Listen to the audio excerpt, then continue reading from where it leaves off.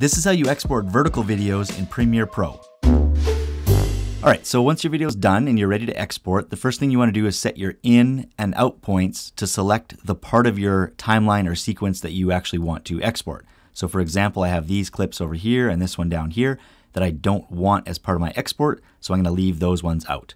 Okay, so what you're going to do is take this blue line and move it to the start of your video. I like to go a little bit in front of it and then right click and select mark in, or if I go back, you can also hit I on your keyboard and then do the same thing at the end. I go a little bit past it, right click and select mark out, or again, if I go back, hit O on your keyboard.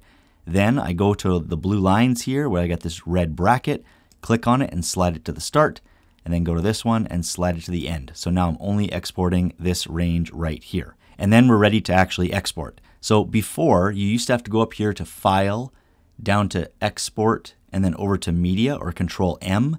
Now, with the latest updates, all you have to do is go up here instead of Edit and click over on Export, and that'll bring you into the export window. But if we take a quick look over here, we can see that this is actually my full timeline or sequence, and this is that little section that I chose to export, my in and out points right there. If I click on this little circle, I can zoom in even closer to that section to see that this is that little range. And if I click somewhere else down the timeline, you can see that I do have other videos that I made along here, but I'm just exporting this little chunk right here because I've selected for the export range to be source in to out, so my in to out point, and not entire source, for example, which would export this entire thing. Okay, so now let's take a look at this section over here, which determines where your media or video is going to be exported to. So for me, most of this video is just to be about media file, which means, and I have that activated here, which is basically exporting to a hard drive like your computer or external drive, whatever it is.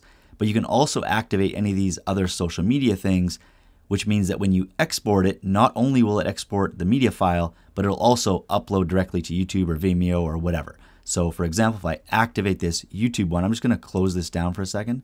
So if I activate this YouTube one, you can see that it adds this publish section, which means you can go to your channel. So if you already have it loaded, you can just click it there. You can put it on a playlist, put your title description. If you don't have one, you just click this plus. It'll take you to the interwebs where you can choose which channel you want to upload to and then follow the instructions. For now, I'm going to cancel that and then deactivate YouTube and then click back on media file so I get those all those original dropdowns. So the first thing you're going to do is select your file name. So just click in here and name it. So I'm going to go export shorts. Then choose your location by clicking on this blue right here. So I'm going to click on that.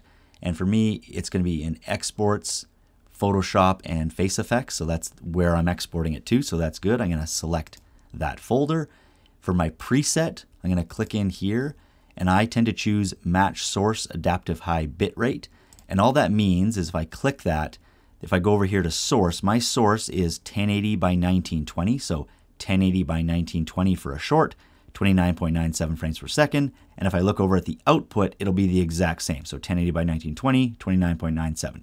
That just makes it so it matches. But if I click back in there and I pick one of these other ones, so you could pick like, I want high quality 4K or high quality 1080. If I click on one of those, just be aware of what happens over here. If you click, it's now going to make it so it's 3840 by 2160. Or if I go to 1080, so the numbers are the same, it's now going to make it so that it's 1920 by 1080 and it crunches my video into that. And you're going to have these black bars on the side. Now, if we drop this down again, even if you go to more presets, that adds a whole bunch of other ones in here. If we scroll right down to the very bottom, so we can see the YouTube ones, even those ones are still like the original like landscape version. So if I click on, oh, YouTube 1080p, that's the one that I want. If you click on that and then click OK, it's still gonna do the exact same thing. So make sure in preset for a short, you just click on here and you go to match source, adaptive high bitrate, and you'll be good to go. As far as format goes, I just leave it at H.264. That's kind of the go-to for any of these social media things. Just be aware that I just noticed this. If I actually go and click on it again, it actually flipped to this high quality 1080p HD. So if you do click on that, just double check your preset, put it back to match source adaptive high bitrate.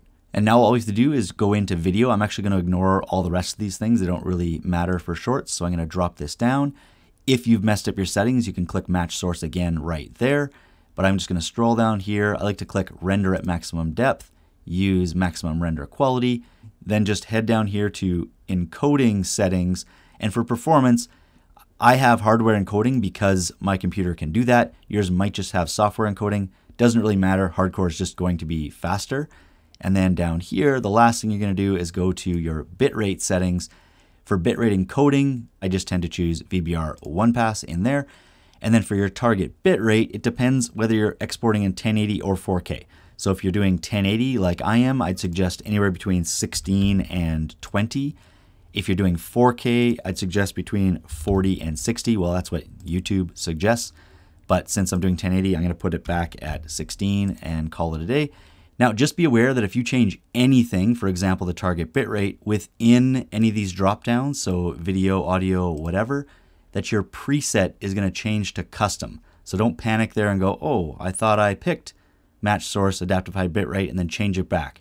Leave it at custom now because that's good to go. And if we look at these three little dots right here, if you click on this, then you can also save everything that you did as a preset for future use. So I'm just going to go shorts export, click OK, and then now that'll show up. So in the future, when I drop this down, there'll be shorts export there that I can just pick and it'll set it up exactly like I have it.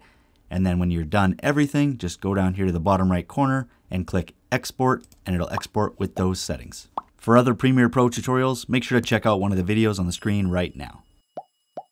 If you got something out of this video, make sure to drop a like, and if you're new to the channel, please consider subscribing, and I'll catch you next time.